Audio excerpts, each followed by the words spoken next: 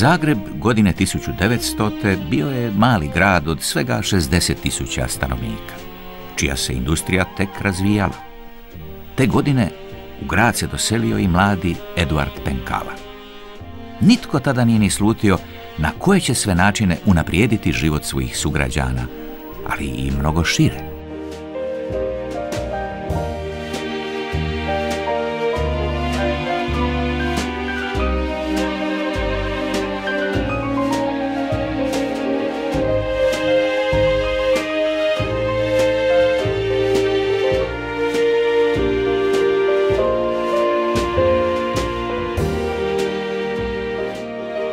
Slavoljub Penkala rođen je 20. travnja 1871.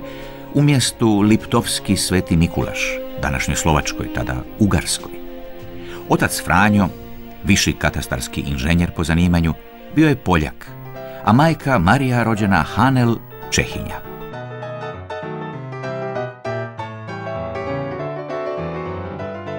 Mali Eduard zarana je pokazivao veliko zanimanje za mehaniku dok su drugi dječaci natiravali krpenjaču, u svojoj improviziranoj radionici uživao je u rastavljanju i sastavljanju ura, metronoma i svega ostalog zanimljivog u kući.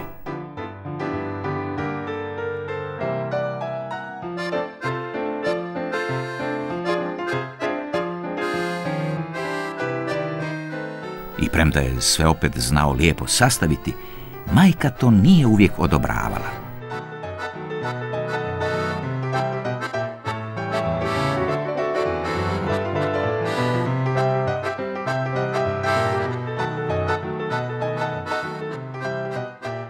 Eduard se oduševljavao prirodnim pojavama oko sebe. Sata je provodio u prirodi promatrajući svijet oko sebe. Njegovu su pozornost najviše privlačili leptiri.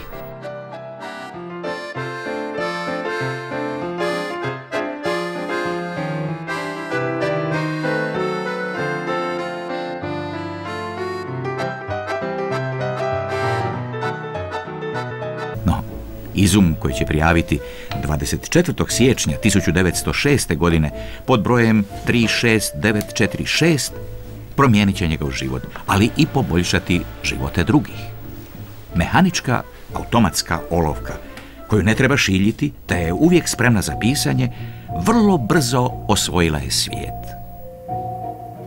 Na temelju prvih deset uzoraka penkale, koje je sam izradio, iz svih velikih europskih centara stigle su narudžbe. I to za sto tisuća primjeraka. Nije bilo zanimanja, ni struke, kojima olovka koju ne treba šiljiti, uvijek je jednako duga te prikladna za svaku ruku, nije bila potrebna.